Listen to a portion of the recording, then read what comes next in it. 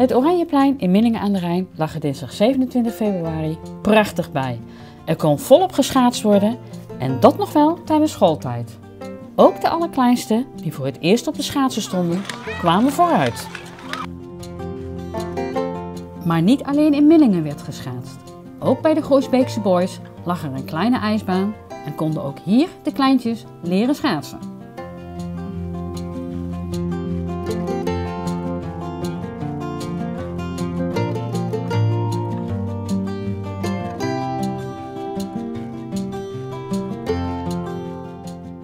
Bergendal, nabij het Hamersveld, was er ook een kleine ijspiste gemaakt.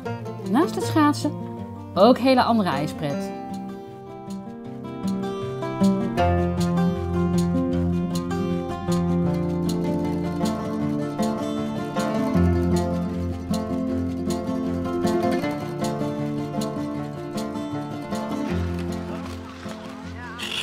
Op de vijver bij het Hufke probeerde men ook enkele slagen te maken.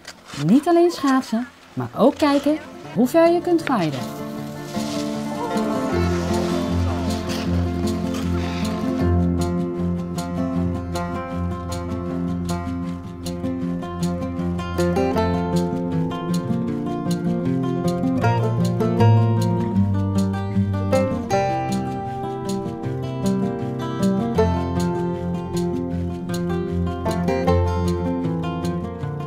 Ondanks de kou en de stevige, ijskoude wind waren er ook nog veel schaatsers op de Oude Waal.